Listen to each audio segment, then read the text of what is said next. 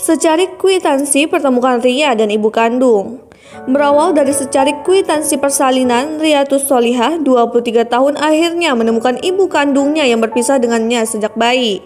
Ria diadopsi seseorang bernama Maria Ulfa, warga Jalan Kepodang, Kelurahan Bintoro, Kecamatan Patrang, Jember, Jawa Timur saat berusia 20 hari karena orang tua Ria terbentur persoalan ekonomi. Kepada Maria, ibu kandung Ria yang bernama Yeti pun menitipkan kwitansi biaya persalinan rumah sakit saat Ria dilahirkan. Sebenarnya, Ria sudah diberitahu sejak kelas 2 SD tentang kisah dirinya diadopsi dari Yeti yang juga warga Jember. Dia baru mencari ibunya setelah menikah dan hamil. Namun, dia kebingungan bagaimana cara mencari ibu kandungnya.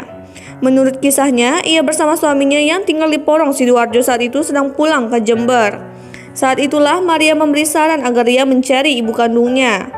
Kebetulan Ria yang sedang membersihkan berkas-berkas menemukan kwitansi biaya persalinan yang dititipkan oleh Yeti kepada Maria.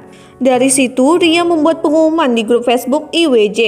Ria mengunggah kwitansi tersebut pada Kamis 18 November 2021 lalu sekitar pukul 7 lewat 30 menit waktu Indonesia Barat.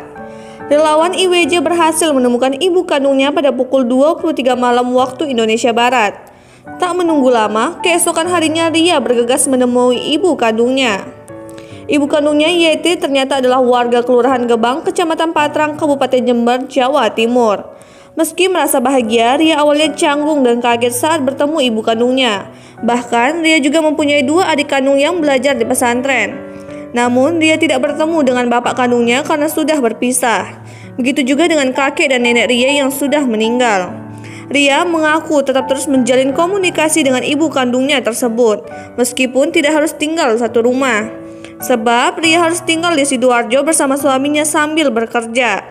Ria juga berterima kasih pada semua relawan yang telah membantu menemukan ibunya.